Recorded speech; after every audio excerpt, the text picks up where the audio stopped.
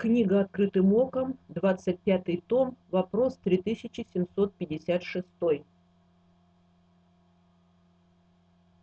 Тема «Деньги». Как вы могли довериться незнакомым людям из какого-то общества, собирать для них деньги? Отвечает Игнатий Тихонович Лапкин. Не из какого-то, а из библейского.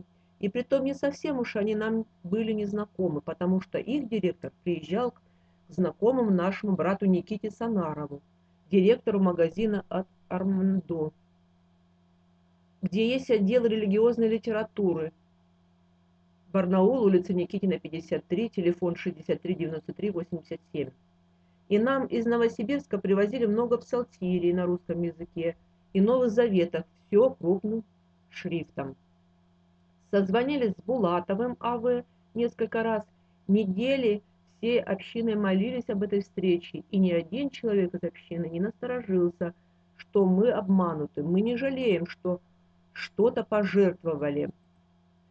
Только вот жертва наша так мала, а делают эти люди такое великое дело, до которого старообрядцы не смогли дотянуться за 350 лет, притом во всем мире. Мы получали вот такое обращение, Матфея 24:14. «И проповедано будет сие Евангелие Царствия, по всей вселенной, во свидетельство всем народам. Кавычки закрыты. Кавычки открыты. Здравствуйте. Прошло около двух месяцев с тех пор, как мы обратились с просьбой поддержать материальный перевод Библии на алтайский язык. И несмотря на летнее время, 355 церквей и частных лиц уже приняли участие в этом начинании, пожертвовав 125 тысяч рублей на дело, которое показалось вам актуальным и верным. Этих денег будет достаточно, чтобы издать пробный тираж нескольких переведенных книг, обеспечить современными компьютерами нескольких переводчиков. Я узнал, что один из них все еще работает вручную, и поэтому приходится после завершения его работы нанимать людей, чтобы они набрали текст. Средств будет достаточно, чтобы провести выездной учебный семинар. Слава Богу! Мы искренне благодарим и за доверие, и за, за сотрудничество. Бог говорит на моем языке, в кавычках. Это такой очевидный факт для, рус, для нас русских. На нашем языке существует Библия, представляет собой откровение для алтайца, якута, шорца. Когда к нам в офис библейского общества заходят нерусские жители нашей страны, тувинцы, буряты, алтайцы – то почти всегда спрашивают, нет ли у нас Библии на их языке. Причем делают они это очень деликатно, скромно, кажется, что они чего-то при этом стесняются. Отвечая им, мы тоже испытываем неловкость, потому что у нас нет Библии ни на одном из этих языков. Они попросту еще не переведены. За прошедшие два месяца мне неоднократно приходилось говорить об этом проекте с верующими – и кто-то спрашивал, зачем делать перевод, если все алтайцы говорят и читают по-русски? Но при этом все соглашались, что язык их сердца алтайский. И слово на родном языке легче проникает внутрь, достигая самых откровенных глубин человеческого существа. Кто-то недоумевал относительно объема переводческой работы, казавшейся ему более простой. Кто-то говорил о летнем безденежье, безденежье о том, сколько средств потрачено церковью на летний лагерь и текущий ремонт церковного здания. И я ни в ком ни в коем случае не собираюсь подтвердить сомнению, подвергать сомнению правильность использования кем-то собственных средств.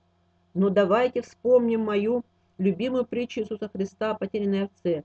Кто из вас, имея сто овец и потеряв одну из них, не оставит 99 в пустыне и не пойдет за пропавшей, пока не найдет ее.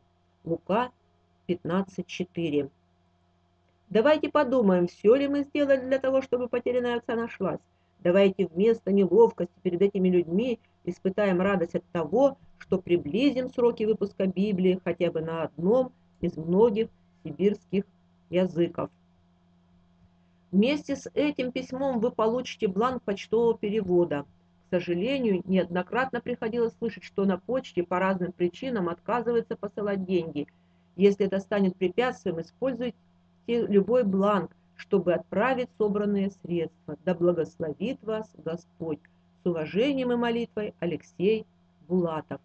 630-073, почтовый индекс. Новосибирск, проспект Карла Маркса, 47 дробь 1, телефон 383 33 50 309, телефакс 33 50 308, электронная почта СС Библия онлайн НСК СУ.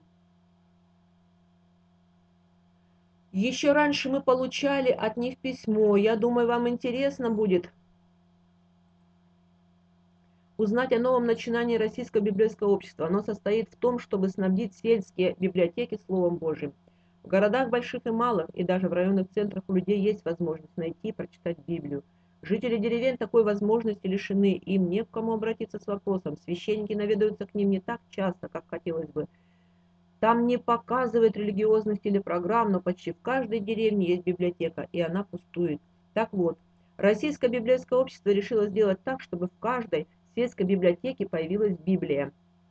Код 114. Детская Библия в древнерусской традиции. Код 312. И книга «Путешествуя с апостолами». Код 318.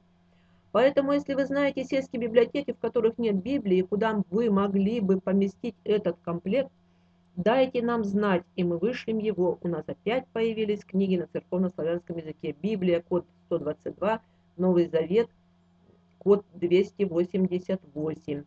И Псалтирь, код 310 с крупным шрифтом. Кавычки закрыты. Получили письмо. Кавычки открыты. Распространяйте весь дальше. Здравствуйте, братья и сестры. Спасибо за ваше желание поделиться своей верой с людьми мы получили от вашей общины пожертвования на перевод Библии для алтайцев. Неся эти деньги, вы и ваши прихожане приблизили день выхода свет Библии на алтайском языке, и потому от имени будущих читателей алтайцев благодарим вас за этот вклад.